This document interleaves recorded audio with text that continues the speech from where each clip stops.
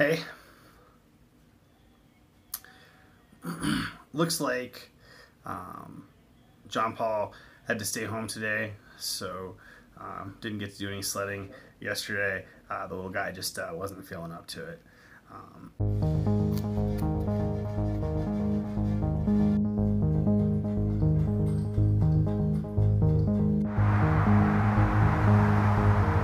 Peppers. Come on, Peppers. Come on, this way.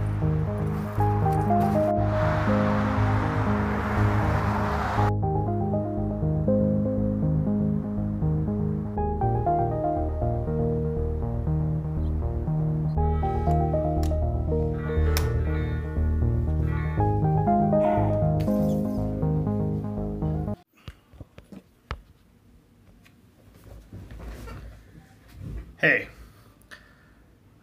I've been working on my fountain pen collection for the last uh, 30 days, and I picked up one that I'm really happy with. It is the Parker um, Jotter fountain pen.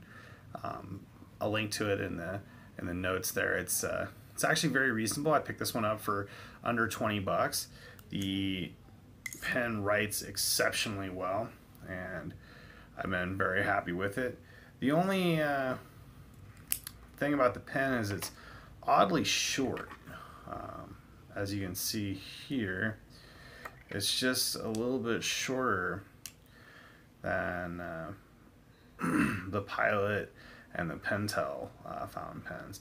These are all three very affordable fountain pens. I actually took the other two um, on an airplane and uh, everything went well. Didn't have any kind of pen leaks or anything. Um, I put them in a plastic bag, of course, uh, just to make sure things things went well.